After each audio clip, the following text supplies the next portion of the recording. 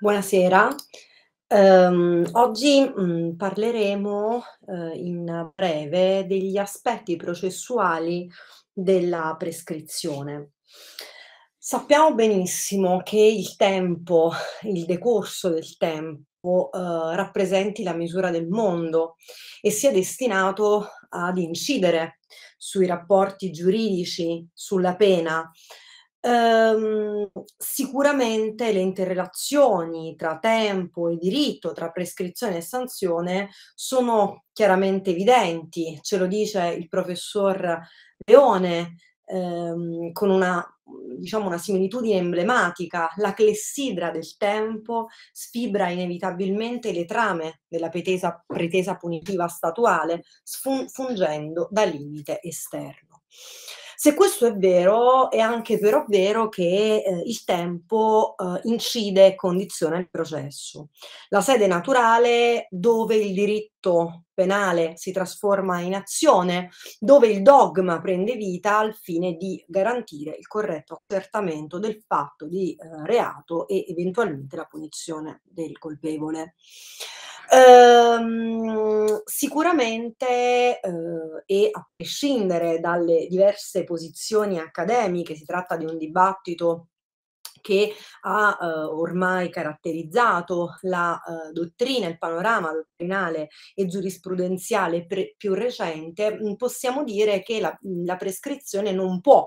in nessun caso essere declinata senza considerare le implicazioni e la realtà processuale in cui ovviamente, ehm, si, ehm, appunto dà vita alle norme di diritto sostanziale. Uhm, è chiaro che la prescrizione è inesorabilmente legata ai tempi del processo, al principio di ragionevole durata e quindi ai uhm, all'esecuzione dei processi penali che allo stato sono caratterizzati da un numero elevato sempre più spesso da un numero elevato di imputati, da un quadro probatorio sempe sempre più complesso, dalla laboriosità degli accertamenti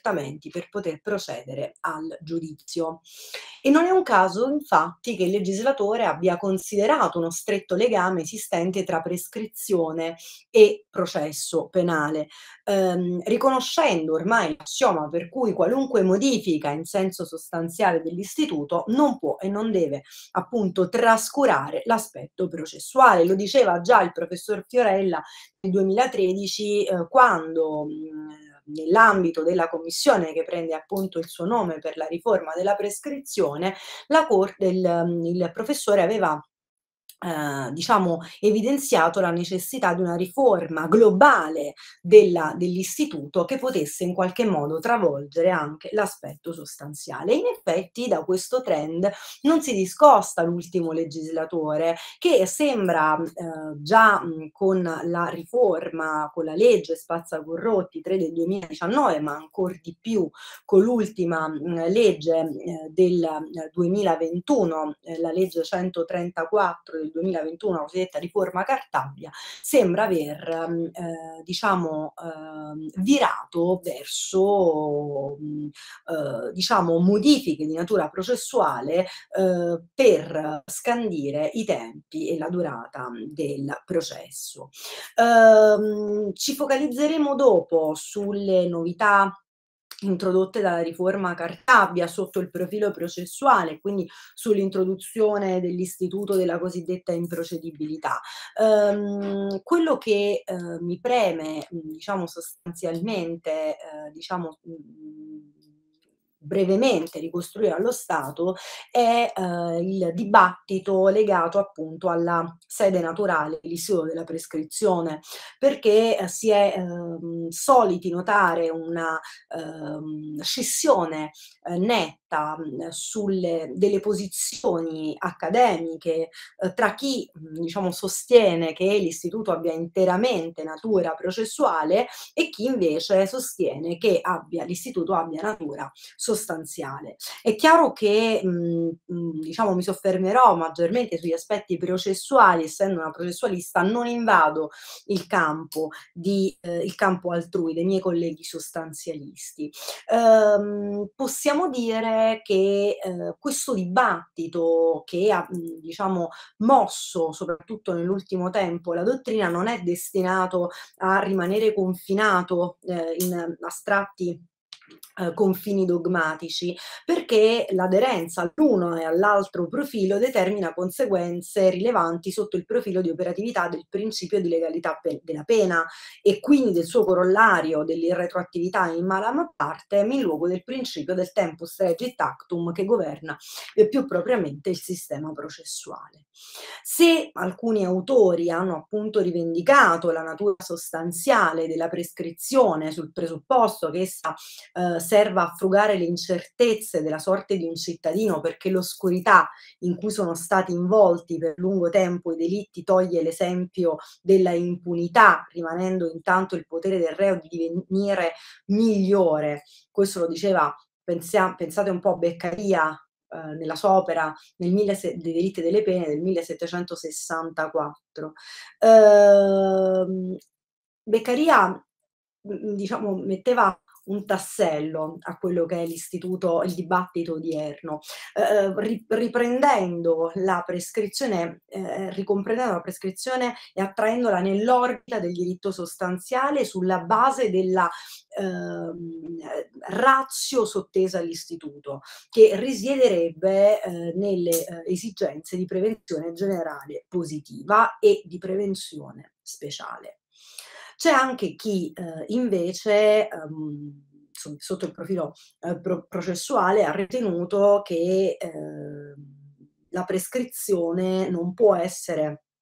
slegata completamente ai tempi del processo, è indissolubilmente legato al principio di ragionevole durata del processo, mm, secondo il dettato di cui è l'articolo 111,2 della Costituzione, che ne fa uno dei principi cardine del cosiddetto giusto processo, per cui mm, la prescrizione rappresenterebbe la durata dell'accertamento giudiziario sul fatto penalmente rilevante. Uh, c'è anche chi invero assume una posizione intermedia eh, ritenendo che la prescrizione abbia natura eh, anfibia ehm, e cioè eh, la prescrizione dotata di natura sostanziale ha degli effetti sul processo penale. Mm, vi, vi dicevo, non ci soffermeremo in questa sede sulla la, su, diciamo, sugli aspetti sostanziali della prescrizione che, come noto, sono stati oggetto di una profonda modifica ehm, a, già durante la, gra, con la, la legge Spazzacorotti nel 2019, modifica che poi si è, ehm, ha iniziato a divenire molto più incisiva nel 2000 21 quando con la riforma Cartabia viene stravolto il sistema della prescrizione a cui si, sostanziale a cui si aggiunge anche un'ipotesi di prescrizione, fatemi passare il termine, di natura processuale. Dobbiamo dire una cosa però prima di conoscere quelle che sono le novità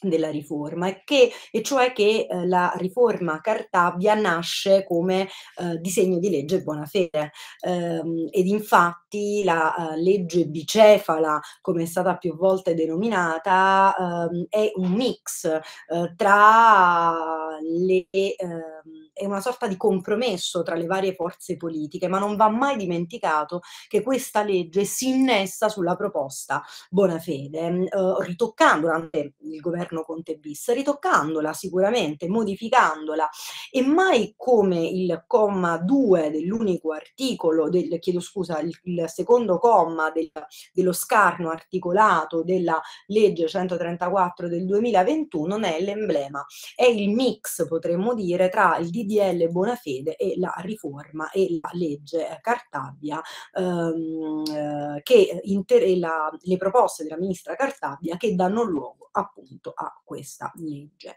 Non soffermandoci, ve lo dicevo, sugli aspetti della prescrizione. Come noto la, ehm, la riforma ha ha previsto una, uhm, in in cessazione, uhm, della prescrizione dopo la sentenza di primo grado, sia essa di condanna che di proscioglimento, andando praticamente a, ehm, rimodulare a, ehm, il il il vecchio sistema della sospensione che in effetti, uhm, suonava, uhm, di paradosso, suonava paradossale eh, prevedendo invece che il decreto penale di condanna rappresenti una causa di interruzione della sospensione non ve invece di cessazione della prescrizione dopo la sentenza di primo grado. Diverse le novità su cui io però non mi ci soffermo. Vorrei invece soffermarmi sulla questione della improcedibilità. La riforma, eh, l'ho detto eh, più volte, cerca di introdurre una nuova forma di scansione della durata del processo che abbia i connotati di una riforma eh, tutta uh, di natura processuale. Si prevede che mh, al fine di garantire il principio della ragionevole durata del processo, che va ricordato rappresenta uno dei principali obiettivi della riforma eh, in uh, ottica di rispettare gli obiettivi eh, che il governo ha concordato con la Commissione europea del, per il cosiddetto PNRR e quindi la riduzione dei tempi del processo penale pari al 25% nel eh, prossimo quinquennio, la riforma eh, prevede eh, un abbattimento, una riduzione dei tempi medi di celebrazione dei giudizi di impugnazione, eh, introducendo il cosiddetto eh, istituto della improcedibilità attraverso l'introduzione di un nuovo articolo, un articolo 334 bis, un articolo inedito che determinerebbe l'emanazione di una sentenza di proscioglimento dibattimentale, o meglio una sentenza eh, di proscioglimento se ehm, diciamo eh, non vengono rispettati i tempi nei giudizi di impugnazione, cioè se l'appello non si chiude entro il, tre, il termine di due anni o ricorso per Cassazione non si chiude entro il termine di un anno. In questo caso eh, rispettando eh, diciamo i termini prefissati dalla legge Pinto, qualora non si, non si rispettino tali termini decorrenti dal novantesimo giorno successivo al termine ultimo per il deposito della sentenza, eh, bisogna emettere una sentenza di proscioglimento eh, per appunto improcedibilità. Eh, due sole le eccezioni a questa ipotesi, cioè per i delitti puniti con la pena dell'ergastolo, nell'ipotesi in cui l'imputato sceglie di rinunciare in sostanza alla pronuncia all'improcedibilità e chiede in sostanza la prosecuzione del processo. Uh, I termini possono subire mh, delle uh, proroghe. La regola mh, vorrebbe la previsione di una sola proroga per un periodo non su superiore ad un anno per l'appello e a sei mesi per la Cassazione, anche se eh, con il solito sistema della gradualità il legislatore prevede termini diversificati per in rapporto ai reati gravi ehm, quali criminalità organizzata, sessuali, reati sessuali, eh, traffico di stupefacenti, terrorismo, per cui si prevede eh, un anno eh, per ehm, il ricorso per, per ehm, l'appello e sei, anni, sei mesi per il ricorso per Cassazione e anche i reati, eh, i delitti aggravati dal metodo mafioso dove si prevede la possibilità di operare per un massimo di tre proroghe, mentre per i reati gravi, quelli di cui ho parlato precedentemente, sono previste più proroghe. Mm, non mm, posso eh, invece soffermarmi sulla sospensione dei termini di durata massima dei giudizi di impugnazione che tendenzialmente riprendono quanto già ampiamente detto in rapporto ehm, quanto già conosciuto sui profili di diritto sostanziale. Um, quello che eh, diciamo su cui voglio soffermarmi è l'importanza di una riforma organica sul sistema della prescrizione, eh, una, eh, no, non voglio entrare nel, mer del, nel merito della, della, riforma Cartabia o delle scelte che hanno portato la ministra ad intervenire in questo senso, però eh, sicuramente un, un, merito le va dato. Vedremo quello che accadrà nel prossimo, nel breve periodo, eh, perché questa e, ehm, si tratta di una norma già tendenzialmente entrata in vigore. Quello che però è, ehm, preme sottolineare è l'importanza di metodo, l'importanza di aver comunque compreso, uhm, anche se in termini compromissori e sicuramente, ehm, dai profili operativi discutibili, uhm, di operare una rivoluzione legislativa in chiave assiologica. Uhm, una riforma che, uhm, almeno sotto il profilo della ratio che l'ha mossa, uhm, abbia tentato di, uhm, rispondere al bisogno di, uhm, ragionevolezza nella durata dei termini del processo e che comunque abbia provato a proteggere i principi satellite che almeno che governano, almeno dovrebbero governare il diritto e il processo penale.